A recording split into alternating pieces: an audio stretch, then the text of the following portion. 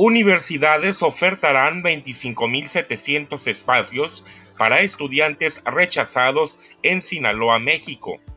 El acuerdo se dio entre el gobernador del estado de Sinaloa, Mario López Valdés, mejor conocido como Maloba, rectores y directores de escuelas del nivel medio superior y superior, donde se hizo el compromiso de publicar a la brevedad las listas de los espacios disponibles.